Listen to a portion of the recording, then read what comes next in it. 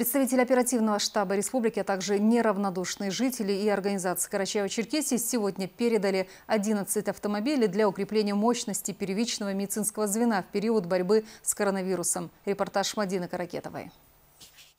Карачаево-Черкесия, как и весь мир, оказалась в очень сложной ситуации. Атаки опасного вируса никто не ожидал. Под его ударом в первую очередь оказались медицинские работники. И, как известно, ничто не объединяет людей, как общая беда. Группа молодых энтузиастов думали, чем же помочь родной республике в сложившейся ситуации. И пришла идея поработать водителями для медицинских работников. К Черкесской городской поликлинике съезжаются автомобили. Это и легковые машины, и микроавтобусы. Все эти люди откликнулись решились на клич объединить усилия с медицинскими работниками в борьбе с COVID-19. Герои этого дня, а иначе их не назовешь, и которые не захотели называть своих имен, в условиях существующей опасности готовы предложить свои услуги врачам. На сегодняшний день э, откликнулись 5 э, легковых автомобилей, 6 э, пассажирских газелей.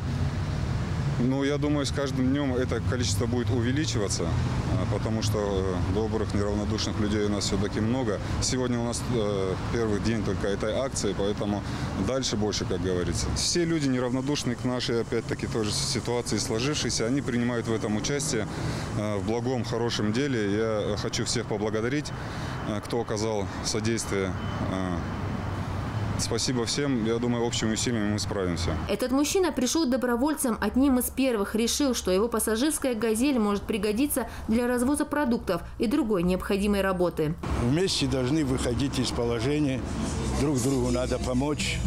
Чем раньше выйдем из этого положения, тем лучше.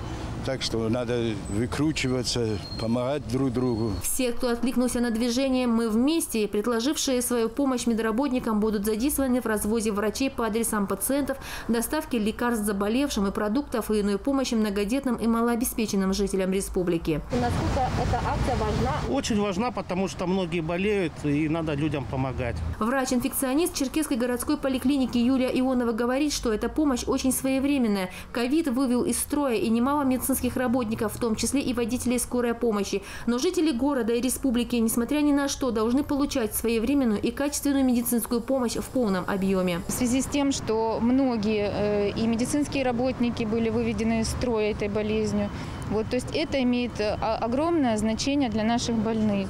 То есть мы теперь можем им чуть быстрее оказывать помощь, доставлять лекарства, брать у них анализы и э, тем самым ускорять диагностику и помощь.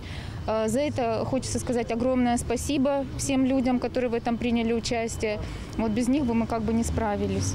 А, большое спасибо. Ну, в дальнейшем Э, я думаю, что это нам поможет э, в оказании помощи, и мы справимся. Ковид объединил людей в один кулак, показал, что хороших, добрых и ответственных гораздо больше, чем равнодушных и злых. Организации, общественные советы при ведомствах и просто жители республики объединяют усилия для оказания материальной помощи нуждающимся в этом, помогают медикаментами, средствами индивидуальной защиты, предоставляют свой личный автотранспорт для общественных и медицинских нужд.